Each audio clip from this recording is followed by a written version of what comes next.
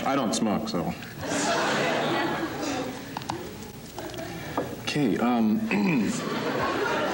let's talk about something really good. No, really, let's get down to it. All right. In The Wiz. Now, are you touring anymore?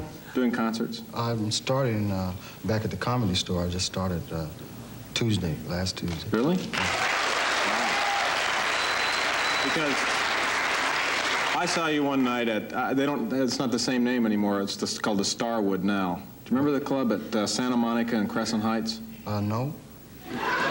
No, honest, I don't remember. Yeah, it was uh, a long time ago. What's the, what was the name of it then? I can't remember. Biff's, PJ's. PJ's, yeah. PJ's, yeah, I saw you there. I had a good time. Boy, you were so That's great. where it is, because I got to go there tomorrow night to see uh, Marvin Worth's son. So Yeah. I'm glad to know where it is. Thank you. It's only my job here. I just I can draw a little map for you if you want. Would you? And uh, then I saw you at the Troubadour probably three or four years ago. And I'm telling you, the place was, la- you know, just two hours of hysterical comedy. Yes, and then I went on. Yeah. So how you doing, man? oh, I'll be starting touring again. I'm in the Wiz. Play Toto? Dorothy. Oh, um, We got that People magazine article. Maybe we can get some information out of that. no. what, do you, what would you like me to say? I mean, I'll I'd like to- anything you like. Okay, let's talk about your performing. All your right. stand-up performing. I'm scared. I just started back, and it's very hard. I haven't worked in a couple of years. How, it's been so two getting your legs back, you know, it's Yeah. hard, as they say. I know you can be off. I feel like if I'm off for two days, I'm a little scared. You should be.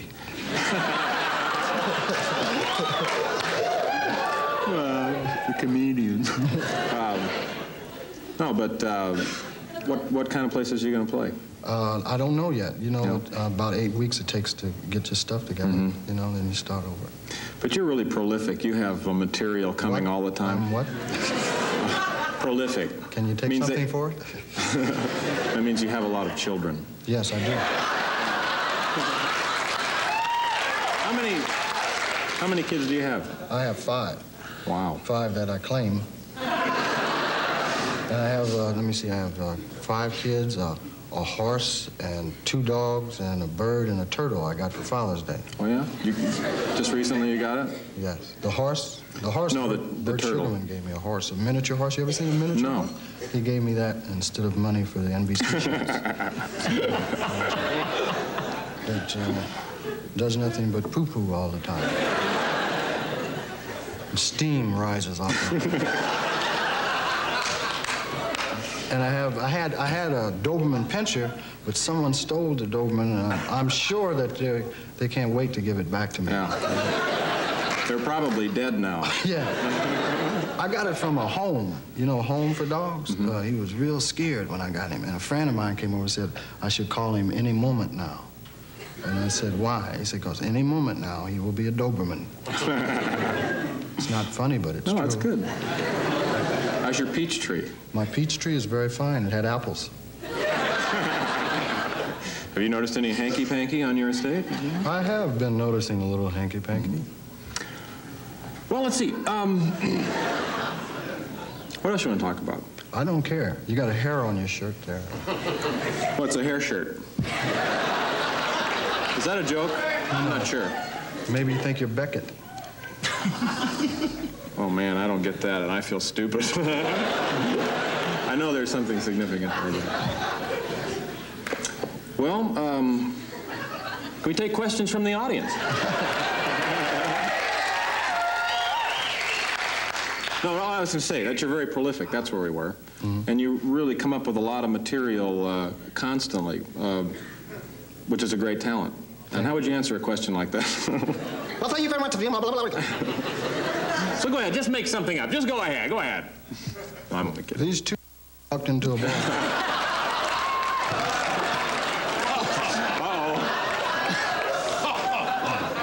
Glenn pulled a Sammy Davis. He knocked his drink over.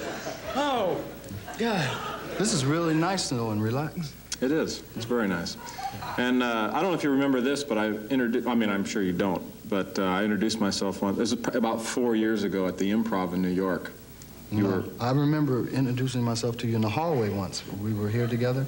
You were doing, you were, Burt Reynolds was hosting. You were a friend of his. And you introduced me to Burt Reynolds.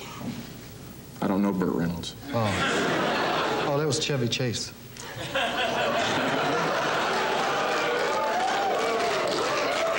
This is all in fun, and you know that. No, Chevy's a great talent. You were there, though. You did introduce, don't you remember?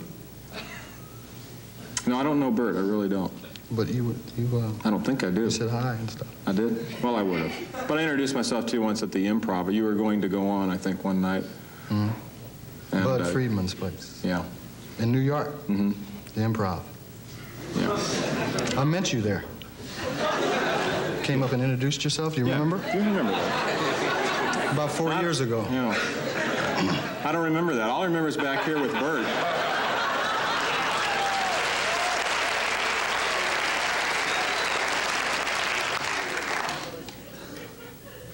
I just, I just found Oh. out something. You want to know what makes my jokes? Ask me what makes my jokes funny. What? Timing. Your joke's funny. Timing. I thought it was timing, ti- timing, timing, timing, timing. So You owe me five dollars. You're right. You don't have your wallet. No, I don't. You I know got you owed Richard owe it. $5. Well, we made a, a mental. He made a mental bet at Vegas at the crap table and lost his mind. And I had, I owe him the bet. Now, what would he bet on? We bet on a football game. Oh, right. I knew it. Let's bust him. Gambling. We got him to admit it. You owe me five dollars. My team won. All right, uh, let's call it a draw. You're right. That works out pretty good. I know y'all my life before I beat you out of it. Beg pardon? I, I missed it. I was listening to him. And he wasn't saying anything. Yeah. And I heard you, and I turned like this. And I thought, So you're at the comedy store now? I mean, tonight? You're going to work there tonight? not tonight. I'll work tomorrow and up till Sunday. you Yeah. know, and I, I, Is it announced? I mean, in the papers no, or anything? no, Yeah. it's because I'm just woodshedding. Oh, I see. Well, it'll be crowded from now on. I mean, now that it's out, that you're working there. Maybe not. Or you, where do you go when you want to like warm up or rehearse or something? I, favorite uh, spot? no, I never, never rehearse. Are you working in town anywhere? I'd like to see your act. Well, I'm a comedian. I know that. I know that. No, I mean I'm I'll not be at being the facetious. Universal Amphitheater. When? September, September 9th, I think, for 10 days, or nine days. I'd nine like to 10 see you if it's possible. Well, I can get you a seat. Would you? Paper said it was sold out. I could stand I can get him a backstage. seat. No, I'd like to see you. Well, why don't you come on and do I've 20 or heard 30 a lot of beautiful things about your work. Really? Uh-huh. Thank you. But you've never seen me before live. Not live, no. Yeah. I mean now, yes. I mean, Well, this is basically what I do in the concert hall. Sit down, have a desk, get a panel with some friends. And drives them crazy. I mean, that's good. well, you got my lighter over there. That's Johnny's lighter, of course. Oh, right. Thank you. I mean, light that. Oh, you got it going. Okay. Yes, sir. Thank you. Well, we got a lot in common, really. We're two stand-up comedians, right? We should be able to reveal something about performing. Do you have a tough time performing if, if the audience is very rowdy? Uh, I don't know what you mean by that. I have a tough time performing. Period. I, well, I know. I agree. I, am very. I get very nervous until I know what I'm doing, because audiences can turn on you. And never, they never build an exit on stage, you know. and you have to work without a net. yeah. And so there you are. You're up there. How long? How long is your show? It depends. Well, Sometimes it goes 20 minutes, sometimes an hour and a half. yeah. And uh, that's what I, I do. Sometimes you ever do an hour and a half worth of material in 20 minutes? Yeah. you know, it's amazing. You can. If, if Even the audience is not with it, they'd be talking about. George Gobel called it the trout look.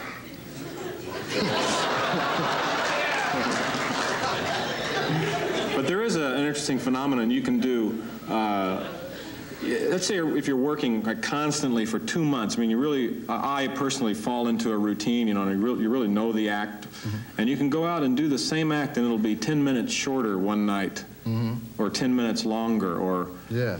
depending on how much you add. The lib. rhythm and stuff gets Yeah. you going. You ever do two shows a night, like, and forget? You say, "Did I say this Mm-hmm. already? Have I done this?" And you be right in the middle of it, and you go, "Oh Lord, I've done this. I know I've done that." But they, if they don't laugh again, because some people go, "You did that! Just want to see if he's listening. That's what I say. You're losing your mind. you did that two times."